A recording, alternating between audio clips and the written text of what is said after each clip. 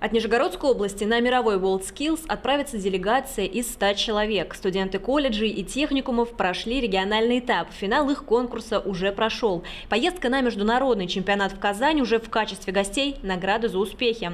Студент радиотехнического колледжа Никита Григорьев едет в Казань за новыми впечатлениями. На региональном этапе он участвовал в так называемой компетенции графический дизайн. Разработал фирменный стиль одного из агропромышленных предприятий. Я хочу посмотреть на то, как как работают как раз-таки а, по этой же специ... А, ну, компетенции другие участники, посмотреть их работы, что-то для себя подчеркнуть, а, также посмотреть, в принципе, на уровень, поскольку это не сравнится с региональным. Финал студенческого WorldSkills прошел в мае этого года. Студентка Нижегородского индустриального колледжа Полина Кручинкина заняла третье место.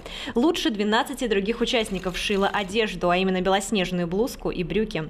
Полина признается, ей больше нравится создавать легкий ассортимент, летние платья и блузки. В будущем хочет стать дизайнером. Я и моделировала, и конструировала разные, разную одежду и отшивала, рисовала технические рисунки. Я сама себе сшила а, три пары брюк э, и три блузки. Э, они очень удобные и они спроектированы именно под меня. Именно на такой машинке Полина работала на конкурсе. Здесь ножницы вообще не нужны. Она сама обрезает нить, нужно только вставить нитку в иголку.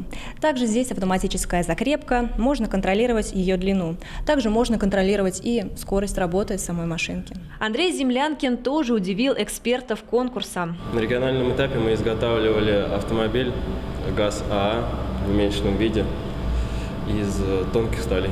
Мировой чемпионат профессионального мастерства WorldSkills пройдет в Казани с 22 по 27 августа. Мы надеемся, что они смогут увидеть площадки чемпионата, смогут увидеть э, те технологии современные, оборудование, которые э, уже на мировом уровне используются, и, в принципе, само вот это интересное мероприятие. В течение четырех дней сборная России выполнит задания, разработанные международным экспертным сообществом. Студенты из Нижегородской области будут активно следить за развитием событий.